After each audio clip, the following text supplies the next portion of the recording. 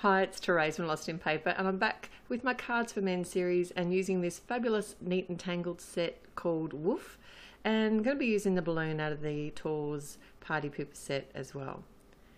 Uh, I've got a piece of design paper, it's cut the same size as the front of my card. It's from My Mind's Eye and it's from a Necessities paper pad called Black and Grey. Pretty funky stripes and spotted designs in this paper pad, I really like it. And nice subtle designs, perfect for a masculine card.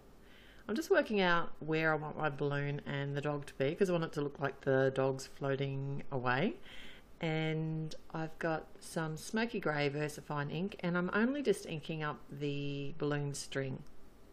And I've stamped my dog image on a just on a piece of white cardstock with some tuxedo black because I am going to be colouring in with some Copic markers but I want him to look like he's holding the balloon so I'm just roughly sort of working out where that string's going to be and the angle that I want my dog and just re-stamping that um, VersaFine grey ink so it looks like he's holding the string. Probably not my smartest move though because this um, the VersaFine's not Copic friendly so I kind of thought about it afterwards and I probably should have done it after but that's okay so all I did was just be really careful with my Copic markers around that actual VersaFine ink. So I'm just going to do some simple Copic colouring today. I'll list all the colours over at my blog and I'll put the link in the YouTube description below.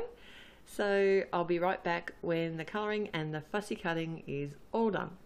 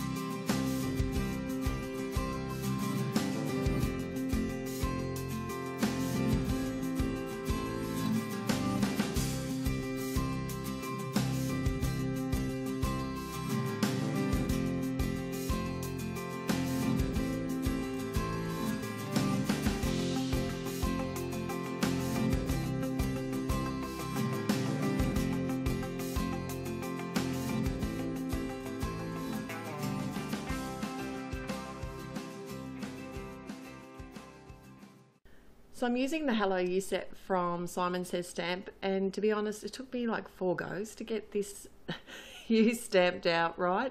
I'm using some cheese puff ink from Ranger, and I don't think it's the ink. It's either my stamping or this actual stamp. But that's the good thing about the MISTI is you can just keep stamping until you're happy with the impression. I added the word hey, just uh, thought I'd use that smoky grey ink again and I did a couple of impressions of that as well because I just wanted it to be a bit darker. And then I added one of the sentiments from the Woof set, from the Neat and Tangled set, and that's just with some Tuxedo Black ink. I'm going to adhere my panel to the front of a top fold card. I'll just use my ATG gun to do that and then I've got my stamp runner to attach my little images. All fussy cut ready to go. Could use a liquid glue here that'll work perfectly as well. And then I sort of thought I was done here but um, I was kind of looking at it and thinking like it really doesn't look like he's floating away.